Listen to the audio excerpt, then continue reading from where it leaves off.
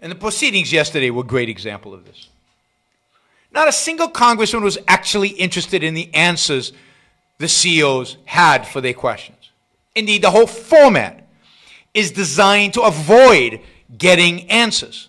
The whole format is designed to give politicians the opportunity for a soundbite and to try to catch these CEOs saying something wrong so they can use it to promote themselves. The whole proceedings were nothing but a circus. A circus designed by politicians for politicians as PR. The idea that any CEO would submit himself to something like this voluntarily is despicable. None of them should have been there. None of them should have agreed. You want to have a real discussion about any of these issues? They should have said, fine. But then I should be allowed to answer the questions. And the questions cannot be yes or no questions because those that's not how this world works. They were constantly cut off. They were constantly told they weren't answering the question. They were constantly told they had run out of time. They were constantly told that, oh no, we just want a yes no answer when the question was not a yes no answerable question. It was a disgusting display of not trying to find truth, not trying to find understanding, not trying to find enlightenment, but it was the display of sheer power. These little people, little congressmen, who have done nothing with their lives, who have produced nothing, create nothing, built nothing, made nothing who haven't hired people, haven't bought other companies, who have no business experience or technology experience, who have young staffers who tell them maybe how an iPhone works.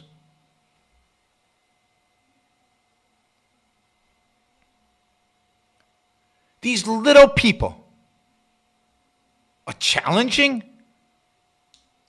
giants who have changed the world, are challenging the geniuses, most productive geniuses of our time. Who are they? They're nobodies. They're nothings. The fact that we voted them in says a lot about how pathetic we are as a culture, as a people.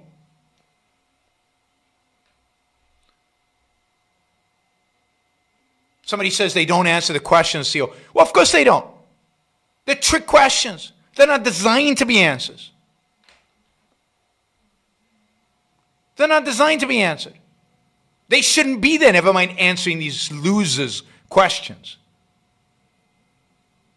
They're questions that are loaded in order to, to, to, to, to trip them over. And they're questions that, oh, they, you know, they think they're sophisticated because they get into the minutia of a particular contract or particular event that happened and expect the CEO to remember all that on live TV, be able to give the answer in a way that they won't regret afterwards, in a way without consulting the attorney, without consulting the actual document, without consulting the vice president was engaged in it.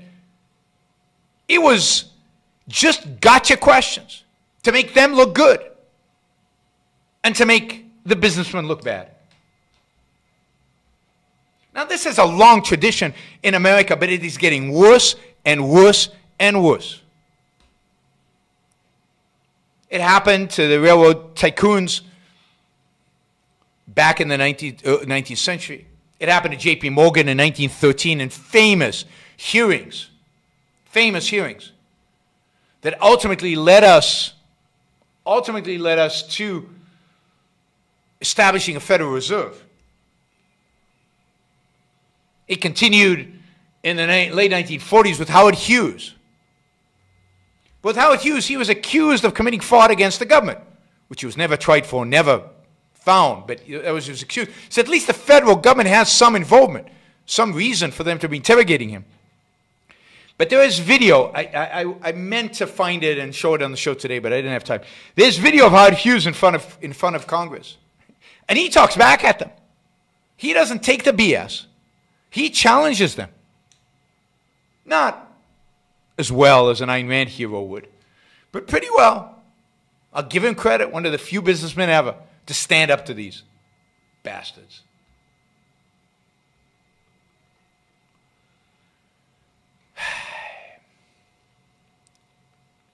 And it's, it truly is some of the most disgusting sights you will see in modern America. And what's more disgusting is that I went on Twitter today looking at what the commentators have to say about this. Yeah, just average people, ordinary people. I just put in big tech. Overwhelmingly, overwhelmingly, people sided with the politicians. Overwhelmingly, people were displaying hate towards the CEOs. Uh, Angel's Philosophy, thank you. I really, really appreciate that. Really appreciate the, the contribution and your comment. Um, why I do this. Um, morally, antitrust laws are despicable because they attack the good for being the good. They attack success for being successful. And they should be repealed. It should be the first thing that a good president does would be repeal the antitrust laws. Stephen asked, do you think they do it out of they go out of fear? Yes, I think partially it's fear. Partially it's a sense of duty. They think they, they need to answer these questions. And in that sense, it's, a, it's, it's partially out of a sense of guilt or it's a sense of, yeah, maybe the politicians have something, or maybe, maybe the politicians have a point, or it's important for me to address them because they're important. But why are they important? They're important because they control me. They have this lever against me. They have this power on me. And, that, and that's the thing we'll get to in a second. Who has power here? Why do they call it a congressional hearing? If Congress does all the testifying, are they living out their Dr. Floyd Ferris moments where they get to torture Galt? Yes. They're living out the pleasure of torturing people who are better than them. And they know that. They know that. They know these are people who are better than them. There is no argument to break up big tech, no justification. It's, I, I want to talk about power, and then I want to I want to quickly talk about the speech issue, even though I've talked about it in the past, and my views I think are well known on this. Who has the power here? The power these businessmen have is to trade with other people. It's to sell and buy products. It's to hire and fire people. It's to engage in voluntary contracts. The power they have is to trade. And other parties don't have to trade with them. Nobody can be forced to trade with Amazon, with Google. You don't have to use Google. You don't have to buy from Amazon. Walmart has a quite competent store that you can buy from. Google, you can use Microsoft search engine, and there's some encrypted search engines online that keep you completely safe. There's plenty of options. If you don't want them tracking you, use a VPN. You don't have to use Facebook. Facebook is not required for human life. And if you want a different social media, you can use Twitter or you can use something else. There's nothing Nothing that requires you to use any of these products. You don't use, I know people who refuse to use Apple products. They just don't use anything by Apple. It's completely possible in this world.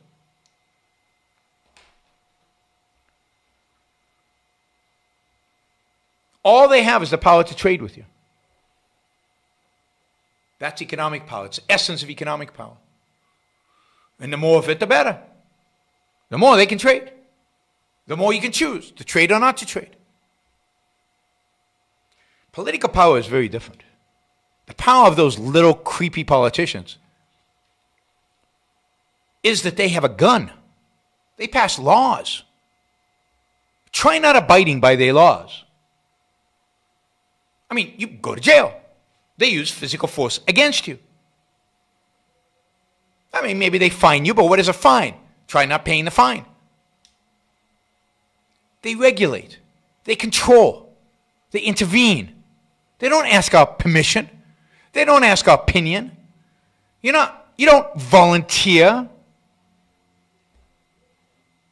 Economic power, political power, is the power to oppress, is the power to control.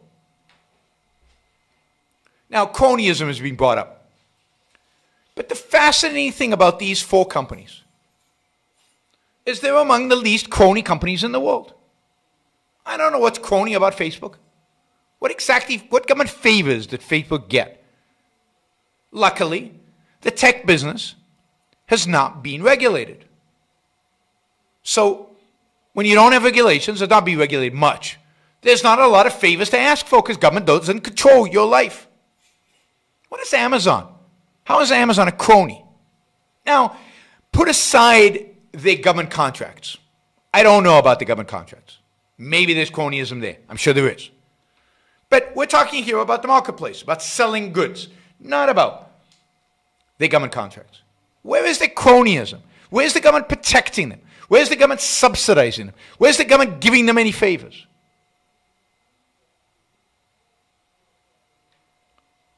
Apple. Apple? Crony? It's been attacked for antitrust reasons in the past because it dared to sell books and set their own prices. But cronyism? Where's the cronyism? Give me examples. What is laws has Apple lobbied for? Or Google for that matter.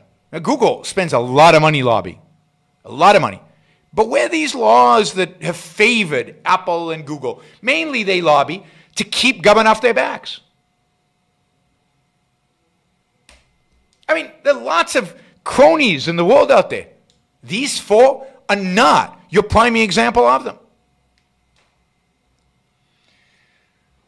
Now, there is this Section 230 and a law that was passed in 1994. By the way, 1994, when this law was passed, was before Facebook. It might be before Zuckerberg was even born. He's that young. But it's before Facebook ever existed. They couldn't have lobbied for that. It's before Google ever existed. Google was started in 1998, I think, or 99. Apple was around, but Apple doesn't care because it doesn't affect Apple.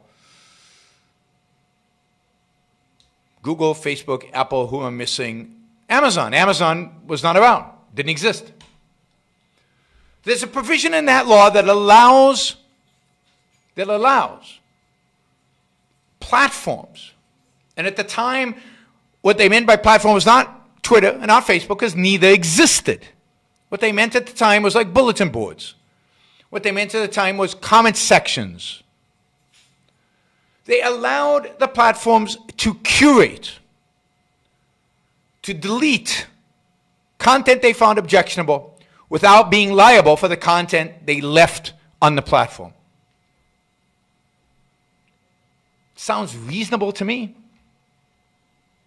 Arguably, led to a massive flourishing of the internet in the United States and the dominance of American companies globally has led to all the great products that you have online today because the companies could delete content like pornography without them being sued for content they left on.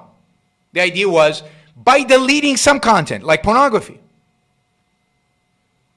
you are not therefore endorsing the content you leave on and therefore you can't be sued for it.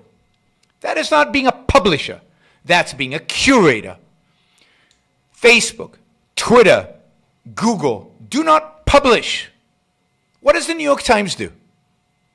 New York Times hires reporters. The reporter writes an article. A publisher, an editor at New York Times edits that article. That article is presented to a senior editor. The senior editor says yes or no and edits it further. And then it gets published. That's a publisher. I submit a book proposal to a publisher. They say, yeah, we're interested. Or no, we're not. If they say they are interested, they then edit it. And then they require me, for example, to provide all my footnotes, all my sources, because they know they're liable. And when I provide those, and when I agree to their edits and they agree to mine and so on,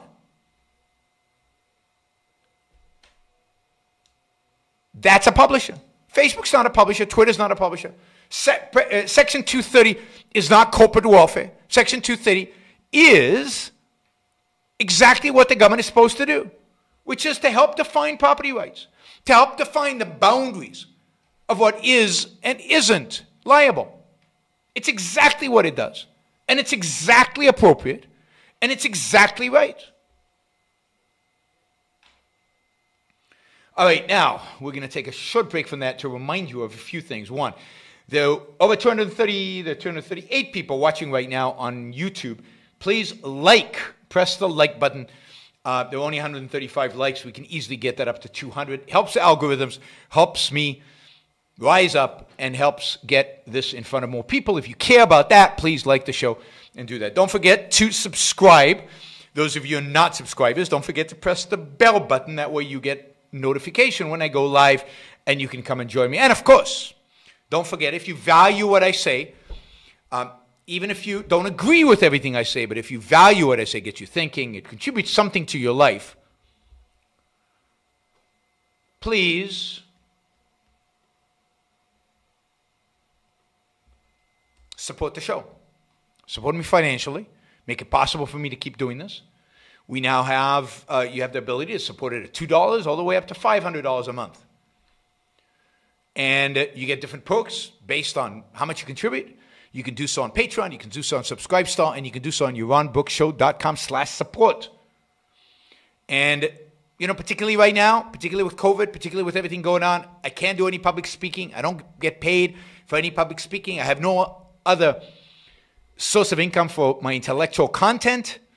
You are it. So thank you for all my supporters, all my generous contributors.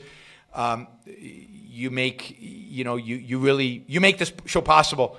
And by showing me your appreciation, you know, it's, uh, it motivates me to keep going. So thank you, and I encourage everybody else who's not a supporter to support the show. All right, they're not a publisher. But aren't they blocking conservative ideas? Aren't they blocking ideas of liberty, and which are not the same as conservative, by the way? Aren't they promoting the left? Maybe. I mean, it's interesting. If you go hang out with real crazy leftists, which I don't do, but I read I read them stuff online, it turns out that Facebook and Twitter ban some of the crazy lefties. And they constantly complain that Facebook and Twitter are too right wing.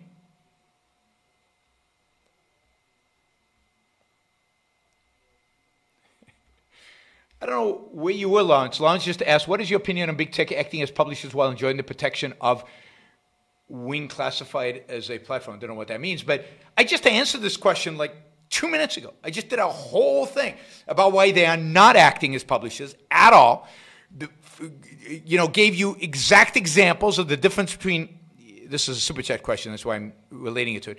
Uh, gave the differences between what a publisher does at the New York Times or at a book publishing company and what Google, uh, what Facebook and Twitter do. It's completely different. It's a completely different function.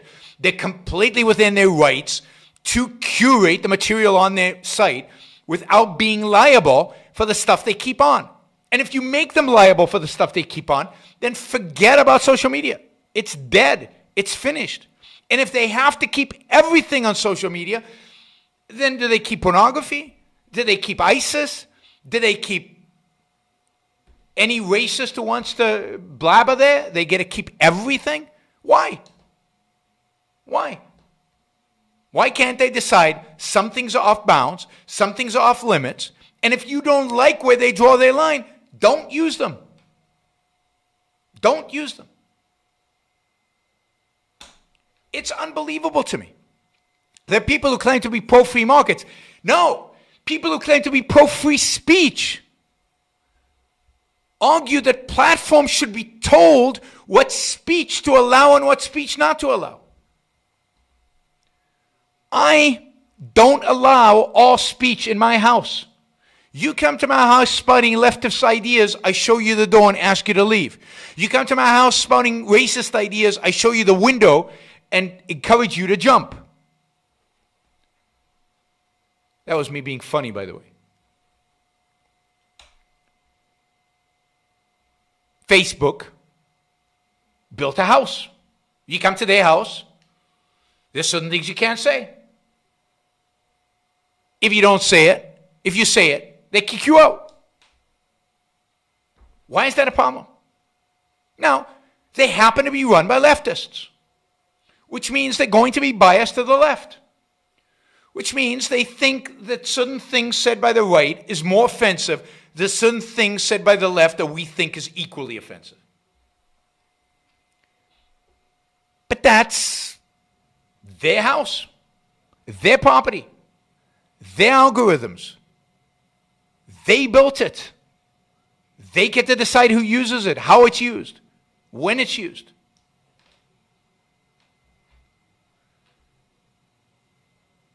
Yeah, they block people that I wouldn't block. They do a lot of things I wouldn't do. I want the iPhone in a different color, but Apple won't produce in a different color. How dare they not do what I want? And sure, there is a danger that if these platforms become block huge swaths of opinions, but what will happen, do you think, if that happens? Well, people will go and establish new platforms. They will compete. But that danger is the danger of being alive. That danger is a danger of having a free market. That danger is a danger of being alive, of living in freedom. Liberty is not risk free. You want risk free? Die. It's the only thing that has no risks involved in it. No uncertainty. You die, you're gone, you're finished. There's no problems. It's all gone. Living is risky. You don't like Facebook's decisions about who they deplatform? Fight them. Not with force. Fight them with ideas. Argue against it. Start a new platform. Switch. Leave. Go to Twitter. You don't like Twitter's decision? Go to what's the new one? Parler. Go to Parler.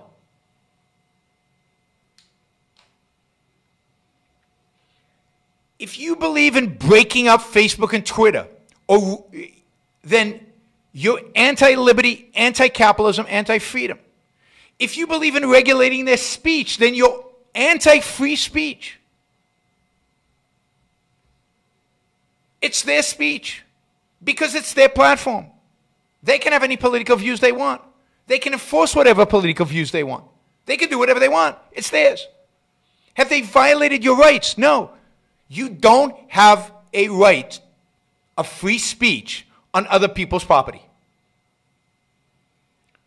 Free speech, the First Amendment, guarantees that the government does not abridge your ability to publish and speak. The government, they're not the government. They're Facebook. They have every right to prevent you from speaking if they don't like what you're saying. That's the system of government we have. That's the beauty of the American system. It's about property rights. On your property, you can say whatever you want. On my property, you cannot. Now, let me just give you an historical example of this. In the 1970s, in the 1970s, there, was only, there were only three television stations that produced news. There was no CNN, there was no Fox, there was no MSNBC, CNBC, Fox Business, all these others. There were three ABC, NBC, CBS. That's it. All of them, by the way, run by leftists. All of them biased. And there was no internet. No internet. I know it's hard to imagine. I know some of you don't really believe me. But there really wasn't an internet in the 1970s. And the newspapers, there was New York Times and Washington Post, basically run by leftists. Ayn Rand was complaining about the New York Times being biased to the left in the 60s and 70s.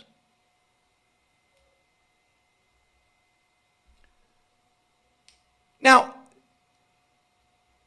there were laws that said that if you're going to have a liberal, a, a leftist point of view, you need to have a conservative point of view. And they would try to implement that, but it was a joke. It was a joke. Because why just those two? And why not other points of view? And are these the best of, of the two? It, it was just ridiculous. But because of the dominance of the left, the right supported this and, and, and, and, and passed this. And because the airwaves were considered public property, there was this requirement that they be fair and balanced. By the way, st- stop the super chats unless it's big money because um, there are way too many and I'm already at an hour 20 minutes. So we have to slow down here. You'll have another opportunity on Saturday to ask me more. And, and maybe some of these questions we'll have to hold over until then. Um, you know, we survived. We survived. Did the New York Times filter out conservative points of view? Sure. Did ABC, CBS, NBC? Yes, sure. Were they biased? Sure. Did Ronald Reagan get elected? Yeah, absolutely. You complain today when you have a gazillion sources of news, a gazillion sources of commentary, a gazillion places to publish your stuff, a gazillion places to have conversations. There's never been an era in all of human history, ever, where people have had more opportunities to speak, to talk, to debate, to discuss, to bring up new ideas, to debate those new ideas, free of censorship, free of control. The very fact that you are all listening to this on YouTube, owned by Google, that Google, in their great benevolence, allows me to use this platform for free they charge me nothing. They even, they even, this is amazing to me, they even go out of their way to try to go and get ads to put on my shows so I can make a little bit of money off of ad revenue. Somebody says Google and Facebook, they don't come out and say they're leftist. Well, sure, but the New York Times has never said they're leftist. ABC, CBS, NBC in the 70s never said they're leftist. They don't think of themselves as leftist anymore that Fox thinks of themselves as rightist. They, they, they, what is their slogan? We're fair and balanced. Really? Are they fair and balanced? BS. The right wing TV show, TV station. Always have been.